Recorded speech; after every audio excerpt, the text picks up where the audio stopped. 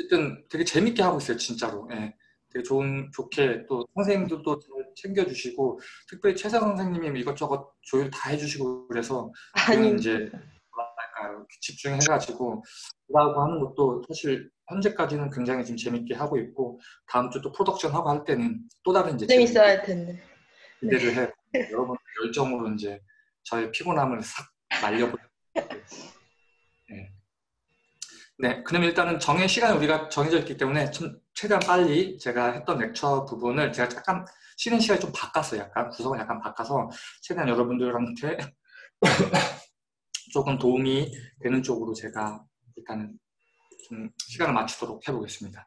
네. 자, 그러면은 어, 이제 우정희 선생님께서 그 네트워크에 대한 이론 부분들, 그 다음에 어떻게 실습할 수 있을지 그런 부분들에 대해서 이제 설명을 해주셨는데 일단 저는 약간 또 이제 앵글을 살짝 바꿔가지고 어, 그 네트워크에 대한 어떤 그 computation한 방법으로 네트워크 어떻게 볼 것인가. 여러분들 이걸 이해하면은 어떠한 네트워크 analysis에 대한 fundamental 다 이해할 수 있거든요. 어차피 다 수학적으로 같기 때문에 그 부분을 일단 먼저 시작을 해보도록 하겠습니다. 자, 잘못 나왔네요. 여기 되는구나. 자, 일단은 여러분들 뭐 이런 이미지들 되게 많이 나올 거예요. 뭐 데이터가 있고, 뭐 insight가 있고, 뭐 wisdom이 있고. 결국 이, 이 이미지를 이제 보여드리고 싶은 거는 결국에는 지금 우리가 데이터가 있을 경우에 수많은 데이터들이 있을 경우에 데이터의 relationship을 찾아내는 게 굉장히 중요하다. 예, 결국 insight를 만들어내기 위해서는 데이터를 이제 의미 있게끔 여기서도 막 엄청나게 많은 노이즈들이 껴있거든요, 사실은. 그런 것도 어떻게 필터를 하고, 어, 그러니까 어떤 raw 데이터부터 wisdom까지 갖고 올라가는 이런 다이어그램인데, 결국 저는 여기서 본 게 connectivity거든요. 예. connectivity인데 사실 이 connectivity의 연결성도 사실 1대1로 보진 않아요. 여러 가지 이제 equation이 들어갈 수 있겠죠. 그런 관점으로 이제 좀 말씀을 드리고, 특별히 이 슬라이드가 끝나고 나면 우리는 이 세 가지에 대해서 대답을 할 수 있어야 돼요. 첫 번째는 뭐냐면, 어떻게 공간 정보를 캡처를 하고 나눌 수 있냐. 디자인적 관점에서. 그리고 두 번째는 어떤 공간상에서 데이터들 관계의 어떤 관계성을 어떻게 정의할 수 있을까. 제가 여기서 얘기하는 거는 굉장히 어떤 그 액상 레벨보다도 되게 그 low 레벨 코딩 쪽 어떤 컴퓨터 science 쪽 그쪽 레벨로 보시면 좋을 것 같아요. 그리고 어떻게 공간들을 여러 가지 파트들로 discretization 할 수 있냐. 이런 부분들의 키라고 보시면 좋을 것 같아요. 그래서 그래프는 제가 많이 설명해 드렸을 거예요. 결국에는 수학적 모델. 이 말인즉슨 사실 그래프라는 거는 우리 건축, 뭐 도시, 뭐 transportation 이런 것보다도 수학에서 원래 많이 이제 ontology라든지 그런 것들을 개발하기 위해서 되게 history가 깊은 학문 중에 하나죠. 그래서 이제 우리들은 그걸 차용을 해가지고 쓰는 건데 특별히 노드, 혹은 vertices라고 이야기 많이 해요. vertex, 노드. 그 다음에 얘네들 연결하는 이제 엣지 이렇게 연결되어 있다 보시면 좋을 것 같고 clear하게 넘어가죠. 그 다음에 이제 뭐 픽셀, voxel 이것도 지금 우리가 공간에서 캡처할 때 사실 여러분들 그래프가 공간상에 없어도 가능해요. 예. 그냥 A, B, C 이거 어디다 내가 공간에 놔뒀는지 말씀 안 드렸죠. 그냥 A, B, C가 있어요. A랑 B랑 연결돼 있고 C랑 A랑 연결돼 있어요. 여러분 머릿속에서 대충 그 구성이 그려지죠. 예. 이것도 그래프거든요. 근데 그것들 공간에 놨을 때는 공간 정보를 capture할 수 있다. 근데 어쨌든 얘네들이 이제 일반적으로 우리가 화면 보는 화면이 다 이게 matrix예요. 2D 매트릭스. 스크린도 그렇고 그 여러분들 좀 더 짧은 얘기를 하나 좀 재미를 더하는 이야기를 하나 해드리면은 이 AI가 급속도로 이제 떠오르게 된 게 사실 computing 컴퓨, computing power 때문에 그런 거거든요. 사실 그 AI 쪽 history 딥러닝 쪽 history를 공부해 보시면은 사실 뭐 한 10년 전, 20년 전에 이미 그게 percept라는 개념이 세워졌고 근데 그 계산량 때문에 못 하다가 2000년 10년도 초반쯤에 그때 이제 컴퓨터한테 parallel processing이라는 게 있어요. serial processing은 이거 계산하고 넘어가고 계산하고 넘어가고 계산하고 넘어가고 하는 거예요. 예. 결국 우리 스크립트 할 때 위에서부터 쭉 계산해서 내려오잖아요. 다 serial computing이에요. 근데 parallel computing은 뭐냐면은 이것들이 작은 작은 계산들을 한 번에 뭐 천 개, 만 개에서 돌려버리는 거예요. 그게 parallel computing이거든요. 왜 parallel computing이 중요하냐? 사실 화면 때문에 그래요. 화면. 화면에 뭔가를 그려야 되거든요. 그래서 사실 parallel computing은 graphics 쪽에서 발달이 먼저 많이 돼 있었고 그 발달된 부분들의 작은 작은 연산들을 이제 우리가 한번 뉴런을 한번 돌려보자 이런 어떤 fitting을 할 때 써보자 뭐 해가지고 거기 있는 computing power가 이제 들어가는 거죠. 그래서 이제 확 이제 어, 그런 history들이 있는데 어, 결국에는 공간, 2D 공간을 할 때는 하나 하나 하나 하나 픽셀 포토샵에서 사진 찍은 다음에 확대하면 픽셀 나오잖아요. 걔네들이 걔네들로 공간을 capture하는 거예요. 사실 그 픽셀이 있기 때문에 모니터가 그림이 그려지고 그 뭐야 비디오가 혹은 스마트폰이 저걸 하는 거죠. 그래서 2D, 3D로 각각의 어떤 공간들을 capture할 수 있다. 사실 제가 이만 제 손을 보세요. 제 박스를 하나 그리면 이 박스 안에 공간은 무한대잖아요. 계속 쪼개고 들어갈 수 있잖아요. 근데 이거를 나누는 거야, resolution을. 예, 그렇게 그런 개념으로 보면 좋다. 그래서 2D, matrix, matrix를 one D로 더 올려서 이제 voxelize 시킨다고 이제 주로 많이 이야기를 하죠. 이렇게 되면은 partition이라는 이야기를 해야 돼요. 결국에는 우리가 공간이 이렇게 있을 때 공간을 나누는 거야. 선 바꿔놓고 야 너는 얘, 너는 쟤. 결국 partitioning 하는 개념이죠. 픽셀, voxel도 마찬가지고 얘도 마찬가지고 결국 공간은 나눈다는 거는 결국 partition을 준다는 거죠. 그래서 이제 machine learning 같은 경우는 linear regression이라는 concept이 있죠. 여러분도 잘 아시다시피 linear regression은 선을 긋는 거죠. 예. 그래서 linear, linear한 선을 그음으로써 이 선에서 이제 저는 사실 그러니까 이 machine learning 이쪽을 바라볼 때 두 가지 approach가 있어요. 하나 approach는 그 computer science의 approach가 있어요. 이건 제가 이제 경험적으로 느낀 건데 뭘 이게 학문적으로 딱 나눠 있는지는 잘 모르겠어요. 하지만 컴퓨터 사이언스적인 머신러닝에 대한 어프로치는 뭐냐면 그러니까 prediction result가 굉장히 중요해요. prediction result. 생각해보세요. 무인 자동차 이렇게 autonomous vehicle이 이렇게 빙글빙글 돌고 다니는데 뭐 확률적으로 사람 한 명 쳤어. 그러면 그거는 안정적이지 못한 거잖아요. 제 질문 하나 할게요, 여러분들한테. 비행기가 99.9%의 안정성을 갖고 있으면 비행기 타겠어요? 안 타죠. 100대 중에 한 대 떨어지는 건데. 99.99999가 돼야 돼요. 그게 그 어떻게 보면 computer science에서 바라보는 어떤 machine learning의 좀 특징이다. 근데 저는 사실 이쪽도 공부를 했지만 저는 statistical side 좀 많이 봤거든요. data scientist들은 machine learning을 어떻게 활용하냐면은 뭔가 fitting을 그리고 result를 받아오는 건 동일하죠. 근데 현상 설명에 더 관심이 있어요. 네. 왜 이 데이터가 이, 이 result가 나 오케이 그래 R square 값이 이렇게 나왔어 참 fitting이 잘 되네 이 모델 써도 되겠네 이제 이게 이거에 대해서 더 강화시킨 게 뭐 그 computer science적인 좀 관점이라고 본다면 그분들 물론 오해해서 듣진 마세요. 네, 오해해서 듣지 마시고 그게 이제 포인트 focus라고 본다면 statistic 하시는 분들은 일단 그게 나왔으면 그 데이터가 갖고 있는 것들 계속 파고 들어요. 네, 이게 왜 이렇게 나왔을까? 과연 과연 어떻게 됐을까? 막 여러 가지 부분들을 막 어떤 그 stat에 대한 이론들을 가져와 가지고 설명을 하려고 되게 노력해요. 현상에 대해서. 그런 차이점들이 있는데 어쨌든 이 linear regression에서 선을 긋고 선을 기준으로 뭔가를 한다는 거예요. 굉장히 중요한 거거든요. 공간상에 여러분들이 geometry를 다룰 때 relationship은 되게 중요해요. 사실 오로바 릴레이션십이에요. geometry는 사실 벡터로 다 뽀갤 수 있거든요. 결국 벡터는 뭘 represent 하냐? 공간상의 자기 정보를 represent 해요. 물론 벡터는 벡터를 포인트로 봤을 때는 위치, 벡터를 벡터로 봤을 경우에는 magnitude랑 그 다음에 그 뭐라고 그러죠? 방향성과 힘을 이제 이야기하는데 두 개가 같이 이제 주로 쓰이니까 그런 개념이 있다라고 보시면 좋을 것 같고. 네 지금 채팅창이 있는데. 아 이거는 뭐냐면은 이거는 지금 제 NNA tool에 저희가 두 개를 implementation 했어요 linear regression을. 비교적 간단해서. 하나는 그냥 linear regression을 주로 쓰세요 여러분들 주로 쓰시고 그 다음에 사실 linear regression GD 같은 경우는 gradient descent 방법으로 제가 optimize 쓴 거거든요. 그거 같은 경우는 이제 한 번에 fitting이 딱 안 되고 그, 그, 그 learning rate에 맞춰가지고 계속 fitting이 돼요. 그러니까 제가 왜 이걸 만들어 놨냐면 이제 여러분들 중에 혹시나 혹시나 에이전트 관련돼가지고 좀 research가 어느 정도 완벽해 탄탄해 여기 위에 에이전트를 뿌려가지고 뭔가 하, 해도 괜찮은 리서치가 될 것 같아요. 그런 분들한테는 이제 에이전트를 뿌리고 이 에이전트와 네트워크들이 같이 gener, 데이터를 generate 하면서 실시간으로 계속 fitting line을 긋는 거죠. fitting line을 그어서 이게 probability 맞췄고 에이전트들이 결정하고 움직이고 네트워크 투입하고 이런 식의 저희가 이제 아이디어를 그렸었거든요. 그래서 그런 관점으로 딱 두 개는 보시면 좋을 것 같아요. 그래서 그런 부분들은 사실 워크샵 때 자유롭게 이야기하면 같이 이제 한번 해보는 것도 좋을 것 같습니다. 자, 그 다음에 KNN. 정말로 뭐 KNN 같은 경우에는 아주 뭐랄까요 많이 쓰이고 있는 그런 저거죠. 그래서 보시면은 아, 자 그룹 짓는 거예요. 별거 없어요. K 네이버 리얼리스트인가요? 예, K K nearest neighbor 알고리즘. 이게 결국에는 이 KNN 같은 경우도 near, 그 neighbor들끼리 뭉치는 거야. 세 개로 할 거냐, 네 개로 할 거냐. 여러 가지 그런 알고리즘들이 있거든. 그러니까 알고리즘 투입한 파라미터가. 어쨌든 그렇게 해서 결국 뭐 한다 이것도 공간을 나눈다. 왜 나누냐? 뭔가 뭔가 결정을 낼 때 얘 이 그룹에 속하냐 이 그룹에 속하냐 개냐 고양이냐 뭐 강아지냐 아니면 뭐 사슴이냐 뭐 딥러닝이나 이런 것들 할 때 우리가 그 파라미터 같이 넣어주거든요. 특별히 supervised learning 할 때. 그래서 어, 이런 식으로 공간을 나누는데 KNN이라는 것도 하나의 어떤 spatial information을 다룰 수 있다라고 보시면 되고 사실 그래서 어떻게 보면 리, 그 머신러닝 모든 대부분의 알고리즘이 다 linear algebra에 기반하고 있는 게 결국 이게 N dimension으로 하잖아요. 벡터라고 하면 3차원으로 여러분들 표상할 수 있겠죠.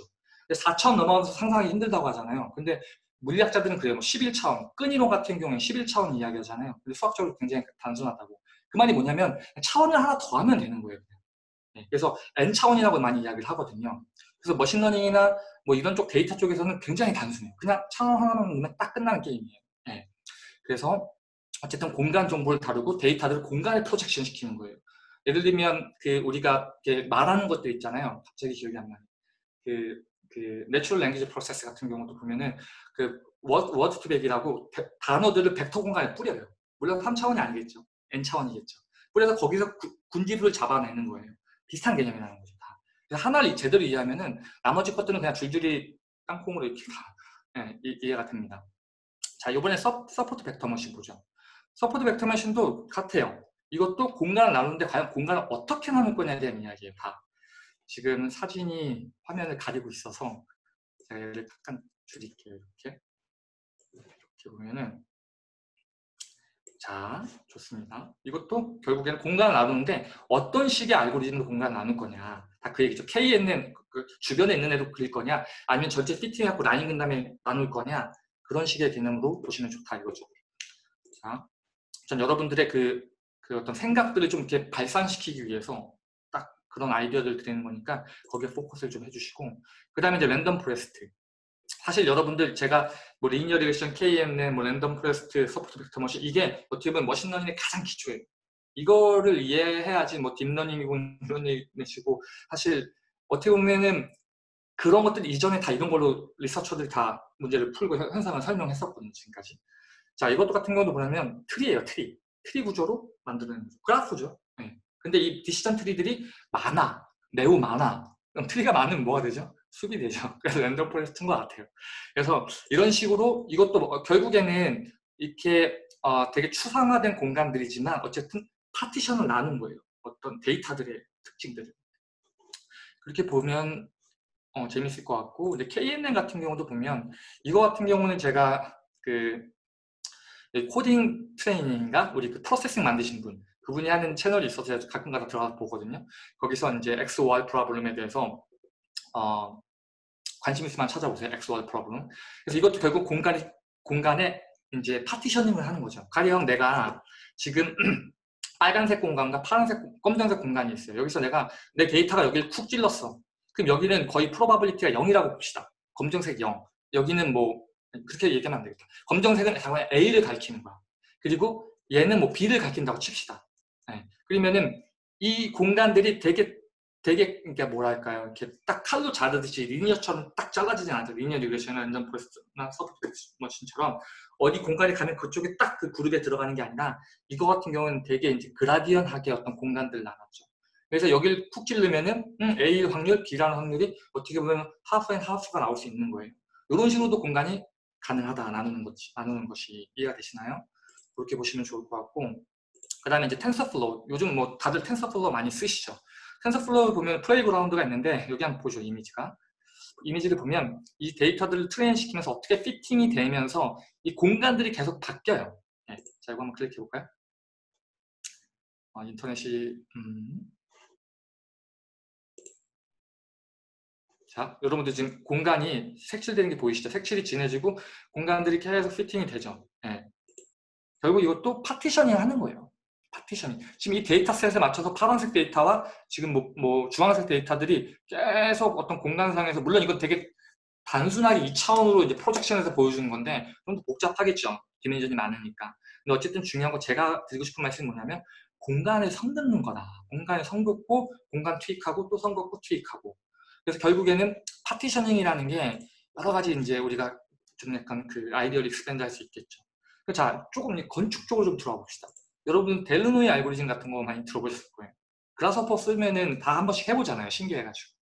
근데 이제 그 백단에서 어떤 알고리즘이 돌아가는지 여러분들 궁금하지 않으셨나요? 이런 것들이 있어요. 그래서 결국에는 이거는 근거가 뭐냐면 데이터의 포지션이 중요하겠죠. 포지션.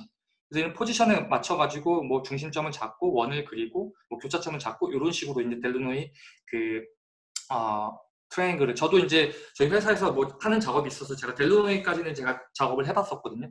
근데 이제 Voronoi까지는 이제 뭐 특별히 topic이 없어서 안 해봤는데 한번 이런 것들 여러분들 low level로 implementation 해보면 되게 도움이 많이 돼요. 네. 그래서 여기서도 지금 mid점들 잡아가지고 쭉쭉쭉 연결해서 이렇게 공간 partitioning을 했죠. 네. 그리고 어... 아, 저 뭐 하나만 얘기해 줘도 돼요? 저거 네.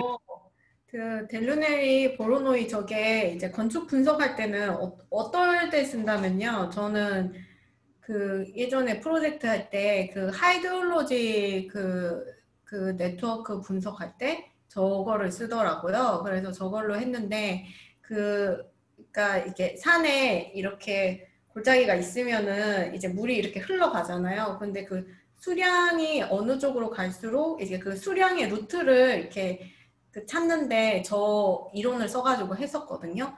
그래서 왜냐면 그게 그냥 예전에 사람들은 저 Voronoi랑 Delaunay를 손으로 그려가지고 그 수량에 가는 길을 이렇게 define을 했어요. 근데 이제 지금은 컴퓨터로 할 수 있으니까 그래서 이게 그게 watershed analysis 이렇게 치면 아마 나올 거예요. 그래서 그거 한번 보시면 도움 될 것 같아요. 사실 제가 엑서사이즈 하면서 이거를 가지고 example을 만들까 해서 우정 선생님이랑 사실 한, 한 50% 정도까지 만들어 놓은 게 사실 있긴 있었어요. 그래서 이게 크로디스트를 또 가리키거든요. 네. 그렇기 때문에 한번 알아보시면 네. 좋을 것 같고 그 다음에 그리고 제가 알기로 도시 계획할 때 보로노이 딜로노이는 뭐 소방서나 경찰서 같은 거 위치 정할 때도 실제로 많이 사용하고 있다고 알고 있어요. 네, 그 맞아요. 가까운 지점들 딱 이분하게 잘라줄 수, 시각적으로 보여줄 수도 있고 하니까. 감사합니다. 여러 가지 아이디어를 던져주셔서. 네, 그리고 이제 지금 이제 space partition, 이 partitioning 이런 거 같은 경우는 이게 이제 컴퓨터 그래픽스가 사실 굉장히 많이 발달했어요. 왜냐면 여러분들 만약에 내가 게임을 해요. 게임을 하는데 object가 뭐 나무, 잎사귀까지 해가지고 한 100만 개가 있어요. 내가 클릭을 딱 했어. 그러면 100만 개 object를 다 비교해야 돼요, 사실은. 100만 개 object를 비교해야 돼요. 그렇기 때문에 computation expense 엄청 발생이 된다고요. 그러면은 이, 이거를 과연 어떻게 할까라고 해가지고 이런 partitioning에 대한 이, 이야기들이 많이 나오죠. 동시에 내가 어떤 뭔가를 만들었어. fabrication 하려고 그래. 뭐 waterjet이라든지 아니면 laser cut으로 잘랐어. 그러면 얘네들을 어떻게 배치를 해야지 가장 그 시트, 시트를 아낄 수, 아낄 수 있을까? 한쪽에 최대한 많이 packing을 해가지고 이런 것들도 어떻게 보면 파티션 문제가 볼수 있어요. packing problem도 볼 수도 있지만 그래서 특별히 죄송합니다. 이제 quadtree, quadtree라는 게 있어요. quadtree는 뭐냐면 공간을 나누는 거예요. 그래서 내가 지금 이렇게 데이터들이 있잖아요. 저도 이거 굉장히 많이 쓰거든요, 사실. 데이터들이 있을 때 내가 여기를 쿡 찍었을 때 전체 포인트를 다 비교를 안 해도 돼요, 기술적으로. 딱 찍었을 때 이 내가 지금 어느 quad를 이제 클릭을 했는지 거기 안에 포함된 포인트만 보는 거예요. 그러면 퍼포먼스가 굉장히 빨라지겠죠. 2D에서는 이런 식으로 많이 해결하거든요. 게임 쪽도 그렇고. 그리고 이제 3D로 올라가게 되면은 이제 octree라는 게 있죠. octree. 똑같아요. 그냥 voxelize 시키는 거예요. 근데 그 voxel의 크기를 이제 좀 더 customize 해서 내가 쿡 찍었을 때 tree, tree를 타고 들어가는 거예요. 그래서 결국 끝까지 타고, 타고 들어간 다음에 이 트리 안에 있는 object들과 비교를 하는 거예요. 다다다다다 비교를 해가지고 걔네를 딱 return 시켜줬거든요. 거죠. 그런 어떤 partitioning이 있을 수도 있다. 그리고 뭐 게임에서는 이제 충돌 같은 경우 AABB 제가 자꾸 왜 게임을 이야기하냐면 게임 쪽이 graphics geometry가 굉장히 많이 발달해 있어요. 사실은. 예. 제가 이렇게 쭉 보면은 건축에서 쓰는 거는 좀 약간 이렇게 뭐랄까요? 좀 이렇게 과거에 있는 어떤 그런 것들을 계속 반복하는 차원이 좀 크다고 친다면 여기는 진짜 push the boundary 계속 boundary push하면서 테크놀로지 갖고 와가지고 계속 하는 쪽이거든요. 굉장히 빨라요. 그래서 이제 이런 경우도 collision detection 할 때도 쓸 수 있다. 그래서 제가 어, 이것들은 이제 코드를 제가 아마 implementation 해놨을 텐데 아, 찾아보시면 있을 거예요 아마 그 어디지? 그 CodePen CodePen에. 그리고 지금 이거 같은 경우에는 또 circle로도 packing할 수 있겠죠 서클 예, 우리 6핏 같은 개념뿐만 아니라 어떤 그 공간들을 다양한 어떤 패턴들로 이렇게 packing을 할 수가 있어요 그러니까 결국 나눌 수가 있어요 partitioning 할 수 있어요. 여러분들 뭐 Grasshopper 처음 하고 건축 학교 들어와가지고 Grasshopper 배우고 나면 panelizing 하잖아요. 아, 이런 거 집어넣고. 그 결국 다 뭐냐면은 공간 어떻게 나눌 것인가에 대한 이야기인 거예요. 네. 그런 그런 어떤 좀 대전제를 깔아두고 한번 보면 좀 더 재미있다라고 이제 말씀드리고 이거는 제가 사실 그 우리 회사에서 작업하면서 이제 사실 뭐 paper를 이제 준비를 하려고 했던 건데 어, 이거는 뭐냐면 결국에는 그 이제 clustering. 짧게 설명할게요. clustering. 데이터 포인트들이 있으면 결국에는 이걸, 이거를 어떤 줌 레벨을 보느냐에 따라 약간씩 다를 수 있거든요. 그래서 결국에는 우리 같은 경우에는 지금 novice죠. 그러니까 그 일반 사용자들을 대상으로 만드는 어떤 graphics tool 중에서 특별히 이제 point visualization을 해주는 건데 그래서 좀 여러 가지 문제점들이 있었어요. 보시면은 포인트들이 많지만 이게 뒤로 줌 아웃 되면은 어, 어쨌든 애들 clustering이 돼야 되거든요. clustering이 돼야 되는데 여러 가지 방법들이 있어요. conventional 방법들이. 뭐 그리드 시스템으로 한다던가 아니면 KNN 같은 것도 여기서 쓰거든요. 여러 가지가 있는데 우리 같은 경우는 뭐 하냐면은 그 얘를 갖고 interaction을 해야 돼. 이렇게 집어넣고 빼고 그때 같은 interaction을 해야 되거든요. 그래서 제가 생각을 했는 게 이제 이거죠. graph based. 저기 여기서도 그래프를 썼거든요. 그러니까 그래프 콜루전 베이스 다이나믹 그래프 메소드라고 마우스풀한 네임인데 좀 긴 네임인데 한 개, 제가 한 게 뭐냐면 이거예요 결국에는. 자, 어, 첫 번째로는 그 아이고, 죄송합니다 왔다 갔다 해서 첫 번째로는 제가 collision 충돌을 detect 해가지고 grouping을 잡아요. 그 다음에 그 grouping을 잡은 걸 제가 그래프로 만들었어요. 그래프로 만든 다음에 recursive 재귀, 재귀적으로 걔네들 계속 업데이트를 하면서 나중에 subgraph를 만든 다음에 나중에 머지를 하는 거예요. 어쨌든 복잡하게 설명하는데 쉽게 얘기하면은 지금 이거 같은 경우에는 줌 아웃하면 다 달라붙죠. 왜냐면 다 연결되어 있으니까. 다 달라붙잖아요. 마우스 올려놓으면 다 나오잖아요. 우리가 원하는 게 아니라고요. 근데 이거 같은 경우는 마우스 줌 아웃해도 걔네 detect 그 area boundary 안에 걔네들끼리 들어오는 거죠. 어떻게 보면 이거 6 feet이라고 본다면은 6 feet 안에 있는 애들끼리만 grouping이 되는 거예요. 그래서 내가 얘를 넣었다 뺐다 뭐 움직여도 전혀 그 grouping에 영향을 미치지 않는 거죠. 이것도 그냥 제가 했던 리서치 중에 그냥 하나 말씀드리는 거고 그 다음에 이제 connectivity를 한번 설명해 봅시다. 그래프는 어떤 공간을 정했고 나눈 다음에 그 공간을 대표하는 포인트를 정했고 우리 network analysis에서는 그 노드들이죠. 그래서 교차점이 될 수도 있고 끝점이 될 수도 있고 그리고 저희가 NNA tool에서 그 resolution을 나눌 수가 있어요. 하나의 라인도 2m 간격으로 자르고 10m 간격으로 잘라서 그렇게 이제 survey를 할 수가 있는데 어쨌든 우리가 partitioning을 했다고 친다면 결국에는 이 공간들 relationship을 정해줘야 돼요. 모든 그 대, 부분의 그 컴퓨터 그러니까 computation design은 어, 메모리를 그러니까 data structure를 만들고 그 다음에 이 data structure를 죄송합니다. 효율적으로 투입할 수 있는 알고리즘을 짜야 되거든요. 그러면 결국에는 connectivity를 미리 만들어 놔야 돼요. 우리 그 네트워크에 보면은 build라는 function이 있었잖아요. 그래서 true, 있었잖아요. 그거는 제가 어떻게 했냐면은 나중에 설명해 드리겠지만 그 그래프를 build하는 타임은 따로 뜯어냈어요. 왜냐면 그, 그게 되게 비싸거든요. computation expense가. 시간 오래 걸린다는 이야기예요. 그래서 걔를 뜯어놓고 그 위에 땅에서 보는 것들은 따로 돌게끔 하는 거예요. 그래서 그 필요할 때만 걔만 딱 계산을 하게끔 만들어 놓은 거거든요. 그래서 어쨌든 그 계산이 이루어질 때 거기서 connectivity를 다 만들어줘요. 왜냐면 되게 비싸요. 좀 operation이. 그렇기 때문에 그래프에 대해서 한번 같이 이야기를 해보자. 간단하게. 그래서 제가 사실 이 비디오를 제가 그때 그 영어 버전 할 때는 제가 못 봤는데 제가 이거 그래프에 대해서 설명을 해놨거든요. 옛날에 이제 그라, 그래프 자료 구조 그래프가 1, 1-2이고 여기 보면 픽셀 복셀에 대해서도 제가 설명을 해놨어요. 그래서 이거 비디오를 보시면은 좀 더 이해가 될 거예요. 제가 이때 완전 그, 그 되게 쉬운 레벨로 제가 설명해 드렸거든요. 그래서 이제 그래프가 뭔지 좀 더 관심 있으면 그쪽 한번 보시고 그 다음에 우리는 사실 그래프 알잖아요. 수업, 수업이 좀 두 번째고 또 tool도 사용해 봤고 그리고 이제 이거는 굳이 설명 안 드려도 될 것 같아요. 여러분들 영어로도 다 알아들었을 거예요. 그래프 어디에만 쓰이냐 여러 가지 쓰인다는 거죠. 소셜 네트워크를 이제 represent 할 때 쓰고 소셜 네트워크 represent 할 때는 엄밀하게 따지면 각각의 노드들은 사실 얘는 정점이 없어요. 그러니까 위치가 없는 애들이에요. 그냥 relationship만 표현하기 위해 놔둔 애들이죠. 어떤 의미로 보면.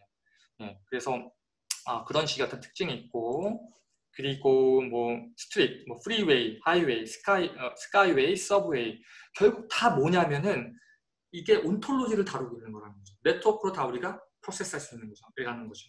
이게 굉장히 중요한 포인트인 거예요. 그리고 이제 folder structure. folder structure도 그때 이제 수업할 때는 뭐 누가 트리 얘기했는데 트리랑 그래프랑 뭐 같이 볼 수 있어요. 근데 트리는 뭘 강조하고 싶은 거냐? 루트가 존재한다는 걸 강조하고 싶은 거죠. 루트. 루트가 존재하고 어떤 이렇게 cascade 되는 폭포수처럼 이렇게 쏟아져 내려오는 그죠? 그래서 이런 하이어키를 좀 이제 만들 수 있는 그런 어떤 이제 강조점이 있는 그래프다. 같은 개념이다라고 보시면 무리가 없다고 저는 생각을 하고 있어요. 또 어떤 예가 있을까요? 뭐 zoning 같은 경우. zoning도 사실은 그래프로 가능해요. 충분히. 그러니까 결국에는 얘네 relationship들을 그래프로 만들어주는 거예요. 예를 들면 얘랑 얘랑 연결돼 있고 얘랑 얘랑 못, 못 가거나 아니면 도로를 건너서 간다던가 이런 어떤 이미지로 되어 있는 것들을 topology나 우리가 추출해내는 거예요. 그래서 그 relationship을 만들어주면 그게 그래프가 되는 거죠. 네. 그렇게 볼 수 있고 그리고 이거 딸려가지고 제가 또 하나 그 만들어 놨을 텐데 이거 같은 경우는 예. 이 친구 제 친구거든요. MIT 이제 저 있을 때 제 친구인데 지금 Autodesk 가가지고 그 음, 리서치 있어요. 거기 샌프란시스코 쪽에서 이 친구 했던 페이퍼인데 보세요. 여기도 결국에는 평면을 넣으면 이 평면을 우리가 그려주겠다는 거거든요. 이 GAN, G 알죠? GAN, 간, GAN 요즘 다들 이걸로 많이 하죠. 예. 이런 거 할 때도 사실은 좀 더 explicit하게 데이터를 만들기 위해서 결국에는 그래프를 만든 거죠. 예. 그래서 그래프로 트레이닝 시키는 거 어떤 의미로 보면 이게 트레이닝 더 잘 되거든요. 예. metric이 명확하기 때문에 그런 게 있다. 이제 그래프로도 여러 가지 것들을 쓸 수가 있다라고 이제 보시면 좋을 것 같고 그 다음에 그 associative geometry 이거는 이제 사실 여러분들 그제 아는 형님 중에서 BIM 쪽으로 뭐 정말 top class이신 분이 있어요 신희, 신희찬 씨라고 그분이랑도 정기적으로 만나서 이야기를 하는데 사실 제가 생각했을 때는 가장 그래도 BIM 쪽으로는 거의 완벽한 게 이제 아무래도 CATIA 그렇죠 GT generative 뭐 프로젝트 아, 아 GT generative 프로젝트인가요? 그 Gehry Technology에서 갖고 와서 CATIA를 tweak해가지고 만든 거. 이제 이런 거 같은 경우도 이게 안에 다 이런 그래프가 만들어져 있어요. relationship을 사실 다 정하는 거예요. 엄밀하게 따지면. 밖에서는 막 뭔가 BIM을 만들고 거기서 막 뭔가 파라미터를 넣고 하지만 뒷단에서 이걸 어떻게 정리하냐? 그래프라는 data structure를 통해서 정리한다는 거예요. 그만큼 이게 robust하고 튼튼하고 안정적이고 가볍고 그 다음에 오랜 그 history를 갖고 있는 거예요. 그래프라는 data structure는. 그래서 그렇게 보시면 좋을 것 같고 왜냐면 그 복잡성을 다루기 위해서는 정말 되게 clear한 data structure 필요하거든요. 단순히 매트릭스로 다루거나 아니면 뭐 voxel로 다루거나 이럴 수 없어요. 그런 데이터들은. 리스트로도 못 다루고. 그래서 뭐 인터페이스 같은 경우도 보면은 이제 Grasshopper 예, 이거 같은 경우도 보면은 쭉 linear하죠. 여기가 start point고 이게 쭉 가죠. execution이. 그래서 이렇게 다시 repetitive하게, iterative하게 반복할 수 있는 프로세스는 Grasshopper 인터페이스 상에서는 불가능하죠. 어떤 이런 트리 구조에서는. 그리고 여러분들이 이 플러그인 한번 만들어 보시면 알겠지만 결국 이제 그 데이비드 그 친구가 API 만들어 놓고 우리가 그 API를 갖고 와서 이제 코딩을 하죠. 근데 뒷단에서는 그, 그 컴퓨터 그래프를 만들어요. 만들어서 거기서 이제 실제 계산을 하고 그 컴포넌트들은 우리가 아웃풋을 받고 넘기고 하는 거죠. 저도 지금 사실은 우리 회사에서 제가 그 단순한 tool을 하나 만든 게 있거든요. graphics 쪽 관련돼가지고. 그때 저는 웹, 웹 기반으로 이걸 만들었어요. 그래서 회사 프로젝트에서 보여드리기 좀 그렇고. 동일한 이런 인터페이스들, 이것도 그래프로 다 만들 수 있다 라고 보시면 될 것 같아요. 자, 그리고, 어, 이제 뭐, neural network. 예. 지금 이건 TensorFlow인데, TensorFlow도 사실은 이제 저는 버전 0.7대인가 1대, 이때부터 이제 썼는데, 그때까지만 해도 좀 약간 요즘 버전 2가 되면서 굉장히 많이 쉬워졌는데 결국 TensorFlow가 뭐냐면 그래프를 build하는 거예요.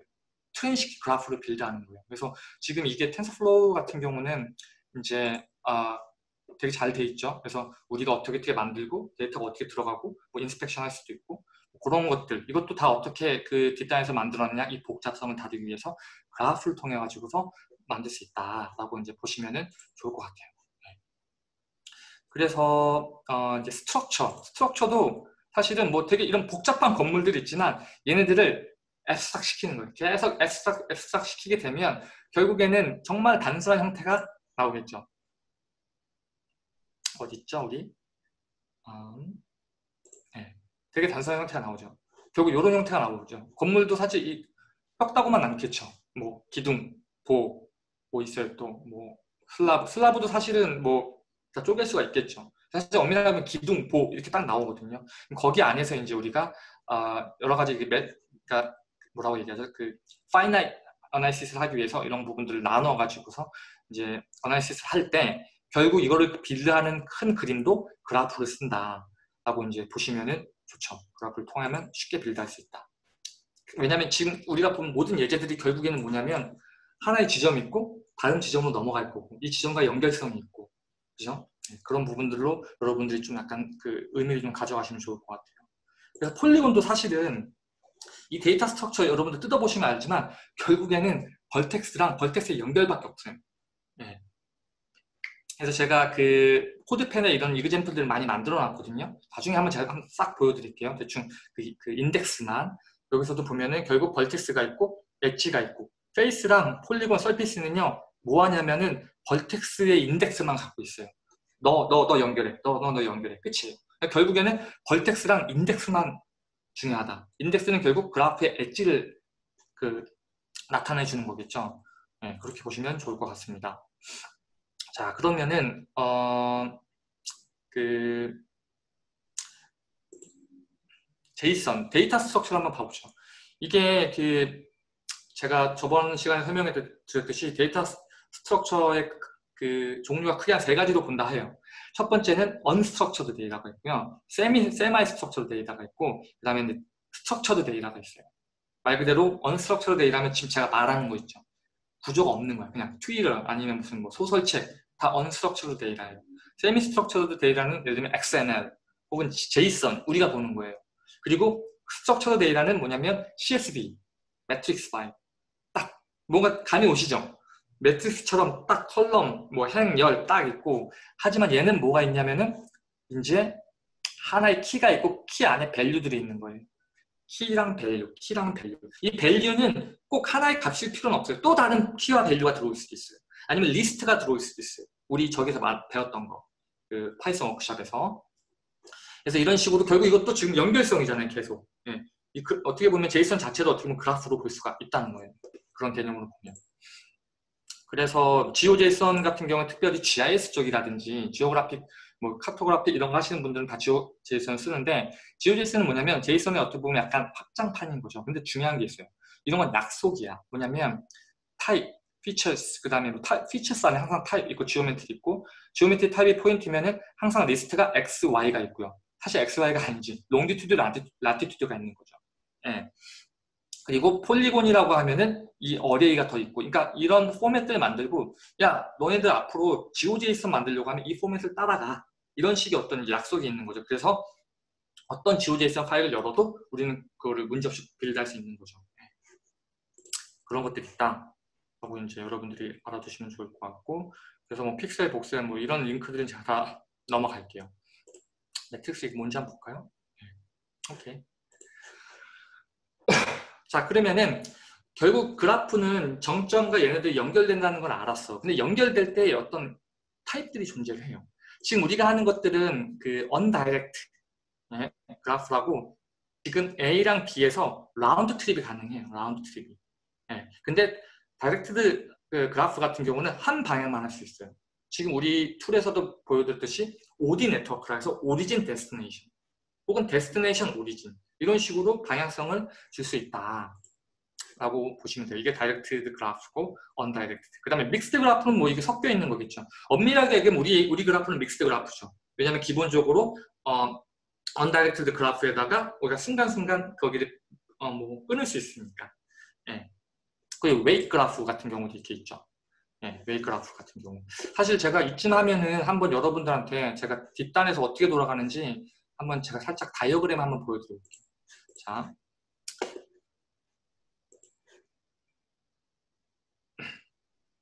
자, 그러면은, 음, 지금 제가 Photoshop을 하나 켰고,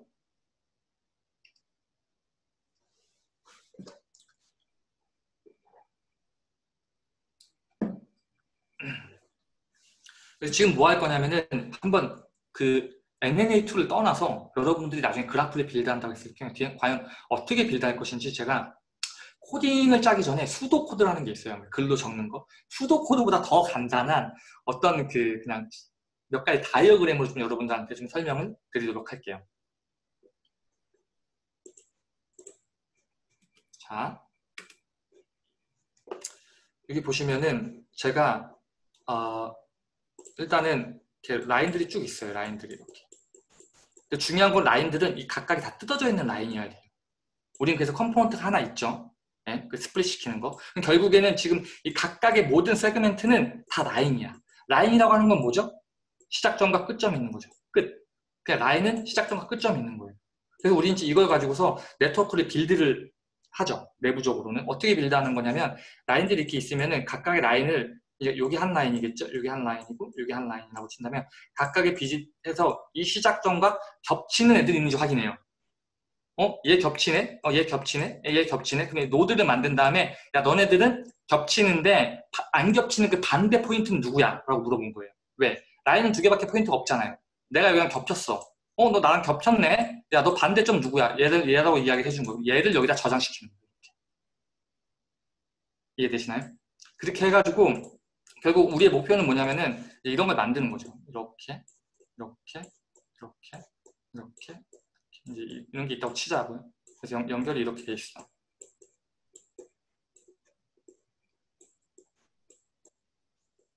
네, 이렇게 돼 있다고 칠게요. 그런 식으로. 그래서 결국에는 이 각각의 점들은 기억하고 있어. 나는 엣지가 두 개가 있고 이 엣지의 나의 노, 나의 네이버는 얘야. 나의 네이버는 얘야. 각각 옆에 있는 애들만 기억하면 돼요. 옆에 있는 애들만. 얘는 누구 기억할까요? 지금 여기는 0번, 얘는 1번으로 하죠. 2번, 3번, 4번, 5번, 6번. 그럼 얘는 지금 이 1번째에는 0번, 3번, 6번만 기억하고 있으면 돼요. 아, 4번까지. 각각의 neighbor를 이거를 build하는 프로세스가 다 이루어져요. 그 다음에 여러분들이 그 시작점 origin 포인트 여기다 줬어요. 그 다음에 destination 여기다 줬어요.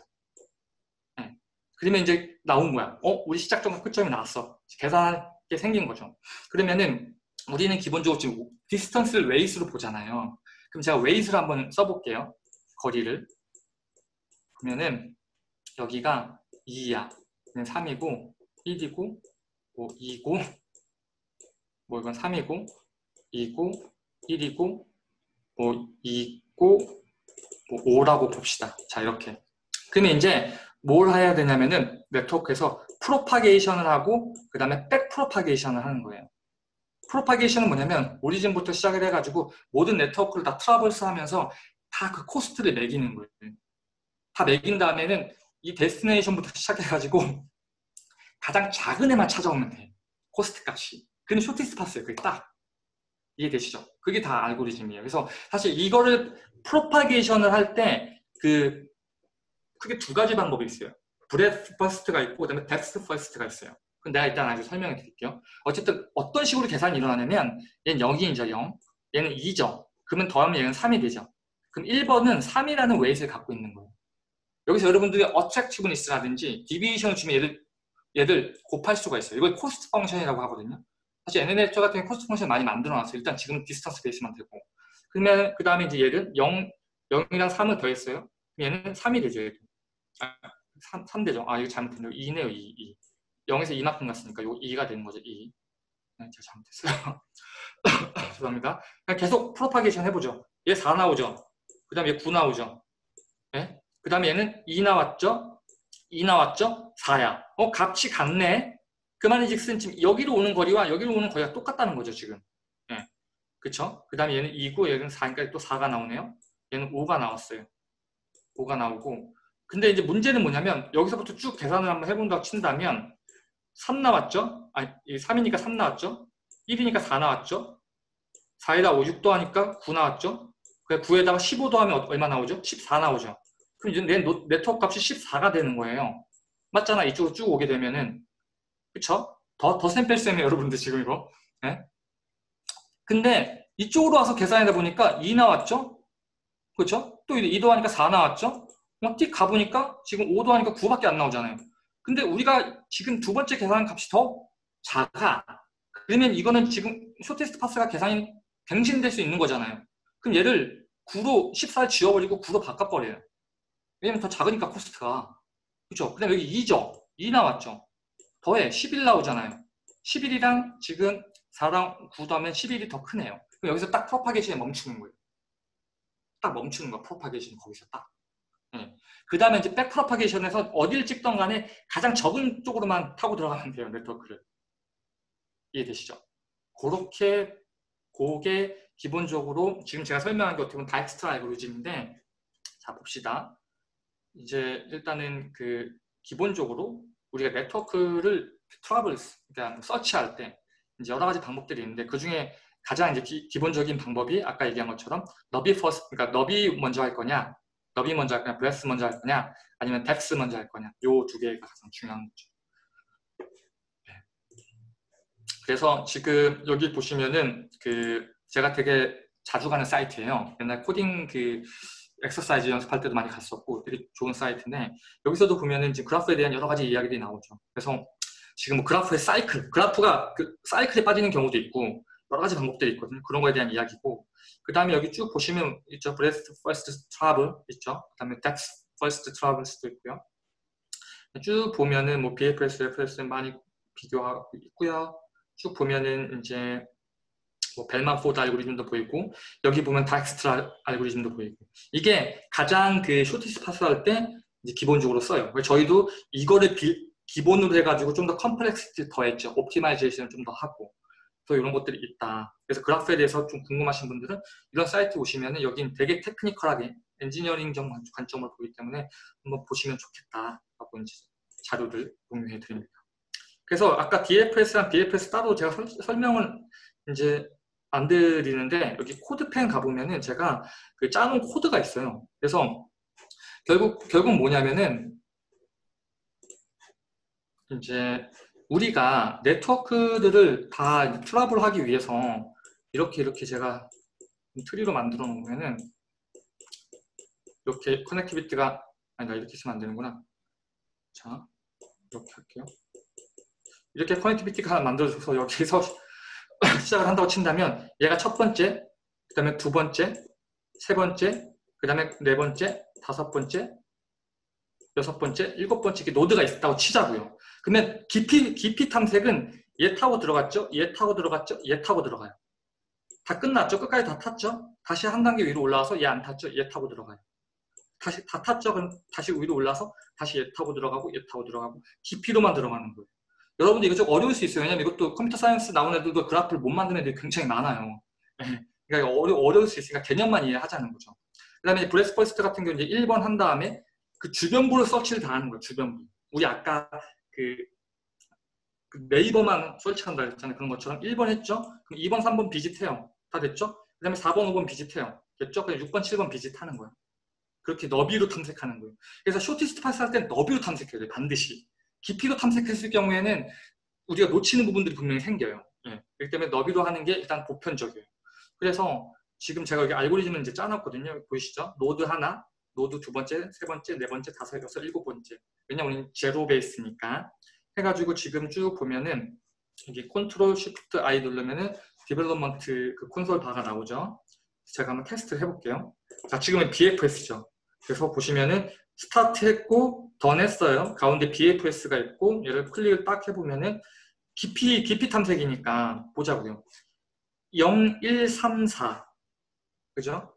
0, 1, 3 한 다음에 다 한 단계 올라서 4. 그 다음에 2, 5, 6이겠죠? 볼까요? 2, 5, 6. 깊이, 깊이 탐색 들어갔죠. 그래서 깊이 탐색에 대한 코드에 대한 임플멘테이션은 제기 함수를 제가 썼어요. 그래서 제기적으로 들어간다라고 보시면 좋을 것 같고 그 다음에 그 음, 깊이 아, 아 너, 너비 탐색 너비 탐색은 어떻게 나오는지 한번 보죠. 세이브하고 다시 실행을 시키면은 이렇게 나올 거예요. 여기서는 뭐 되게 디터미스틱하죠. 0, 1, 2, 3, 4, 5, 6 이렇게 나오네요. 볼까요? 나를 기준으로 나를 기준으로 내, 내, 내 주변에 바로 내 새끼들이죠. 그러니까 parent children relationship이라고 보면은 내 새끼들 다 보고 다 다 한 번씩 탐색했죠. 그냥 얘를 기준으로 탐색, 탐색, 탐색, 탐색 이런 식으로 가는 거죠.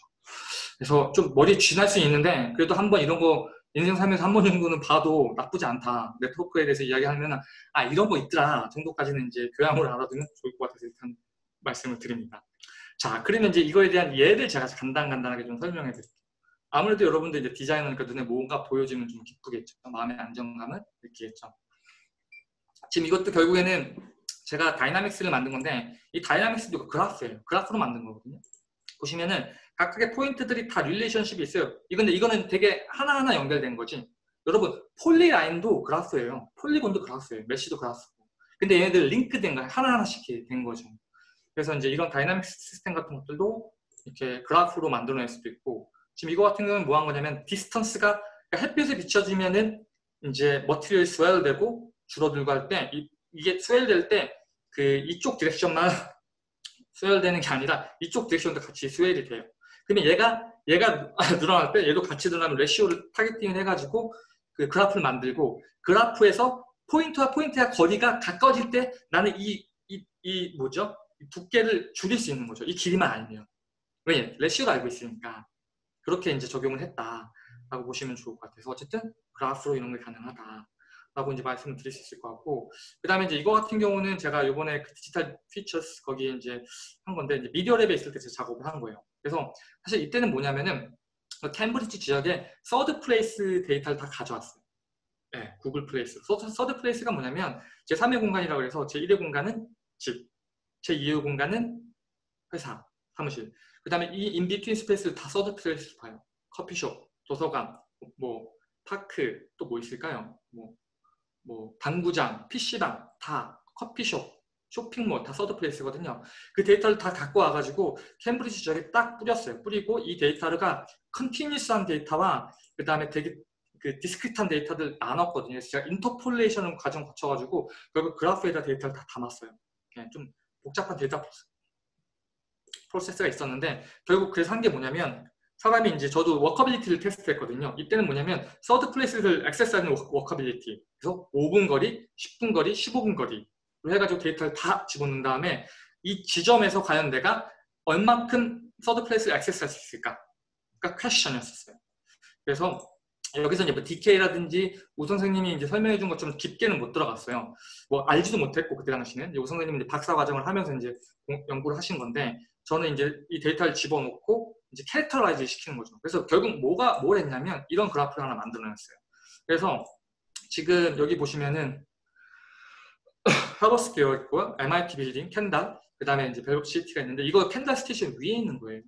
그래서 지금 일단은 제가 일부러 데이터를 normalization을 안 시켰어요. 일부러. 물론 여기 보시면은 여기는 뭐 여기 6인데 이만큼 여기는 40일이고 이쪽으로 하면 뭐 1000, 1000개가 넘어가거든요. 이 star plot이 1000이 넘어가요. 근데 내가 왜 일부러 안 시켰냐면은 저는 이 shape 자체를 representation 한 거거든요. 네. 이 shape 자체가 나는 이 하버드 스퀘어의 5분 거리를 represent 한다고 좀 본 거예요. 캔달 스테이션도 마찬가지고. 자, 그렇다고 친다면, 우리가 이런, 이런 필드가 나왔다고 친다면, 한 지점에서, 신촌을 쿡 찍어보는 거야. 인사동을 쿡 찍어보는 거야. 그럼 분명히 다르게 represent가 되겠죠. 네, 그래서, 이제, 약간 이런, 이런 퀘션이죠. 만약에 내가 그 인사동을 하버드 스퀘어 비슷하게 만들려고 한다면, 아니면 강남을 캔달 스테이션과 비슷하게 한다면 적어도 third place의 렌즈 안에서 우리가 과연 어떤 pick을 할 수 있을까? 아니면 어떻게 하면 더 다르게 만들 수 있을까? 공간들을. 이제 같게 만드는 걸 떠나서 이런 식의 어떤 characterize를 할 수 있다, represent를 할 수 있다, 어떻게 그래프를 통해 할수 있다 라고 보시면 좋을 것 같고 그 다음에 제가 앞부분에 뭐 수업, 수업 설명할 때 했던 뭐 그래프, 뭐 interaction하고 백그라운드 데이터랑 같이 talk하고 이런 것들은 제가 데모는 안 보여드릴게요. 넘어갈게요. 그리고 사실 제가 GSD에서 했던 죄송합니다. 이것도 이제 제가 여, 기저기 많이 만들어 놨을 거예요. 결국 이것도 이제 그 voxelize 시켜가지고 다시 rebuild한 그런 개념이기 때문에 어, 설명을 일단 안 하고 넘어가겠습니다. 그리고 이제 뭐 픽셀, 뭐 voxel 이런 관련된 부분들에 대해서 이제 여기에 CodePen이 있으니까 궁금하시면 한번 들어가 보시고 사실은 지금 이거 같은 경우는 우리 지금 NNA tool과도 그 연결할 수 있거든요. 제가 그 example 하나 보여드릴게요. 그래서 결국 픽셀 단위로 쪼갠 거다. 그래서 이 픽셀을 쭉 들어가 보면은 결국에는 우리는 이 노드들의 각각의 공간을 represent 할 수 있고 이 데이터들을 다 가져올 수 있다는 거죠. 비가 내렸을 때 빗물이 얼마큼 왔냐 timeline에 맞춰가지고 해가 들었을 때 여기 density는 어떤 이런 정보들 요 노드에 다 저장시킬 수 있어요, 여러분들. 그 여러분들이 디자인 intervention 줬을 때 데이터를 다 tracking 해가지고 나중에 그래프 그래프로 그리거나 그래프는 이제 어떤 linear regression을 그린다던가 이런 식의 어떤 analyze가 가능하다. 그런 것들이 다 어떻게 computation 디자인을 활용하면 할수 있고 특별히 그래프랑 데이터 structure를 활용해가지고 한다라고 보시면 좋을 것 같아요. 머리가 이상하게 된다. 네, 좋습니다. 아, 여기까지 질문 있으세요?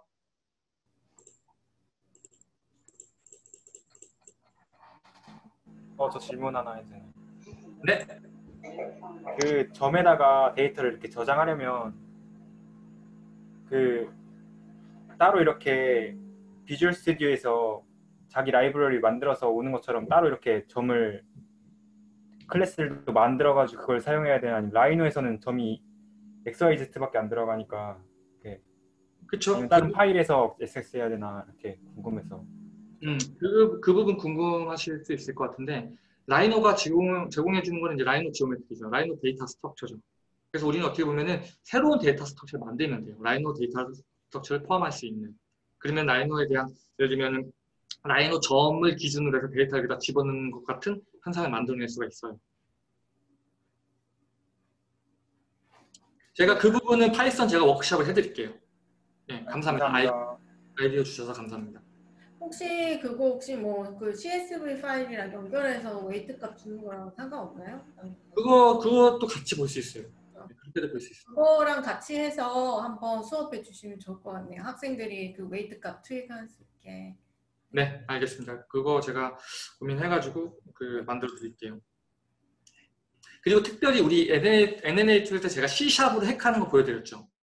그래서 에이전트 들어가고 거기에 노드에서 몇 번 노드 딱 찾으면 거기에 뭐, 뭐, number of visit도 있고, 그다음에 attractiveness도 있고, deviation도 있고, 각각의 데이터들을 다 투입할 수 있거든요. 그런 방식으로 만든다는 거예요. 그리고 거기 노드 안에는 포인트가 있는데 그 포인트가 라이노 포인트예요. 왜? 내 라이노 쓰고 있으니까. 그쵸? 그 나중에 내가 거길 query해서 들어갈 때도 라이노 포인트를 찾는 거야. 어, 라이노 포인트 너 여기 가장 가깝네? 오케이, 그럼 너 데이터 structure 나한테 줘봐. 그래서 들어가서 그 데이터를 갖고 오는 거예요. 네. 그렇게 보시면 좋을 것 같습니다. 네, 우리 굉장히 빨리 끊었네요. 23분 만에 끊었어. 아, 제, 내용이 제대로 전달되는지는 잘 모르겠습니다.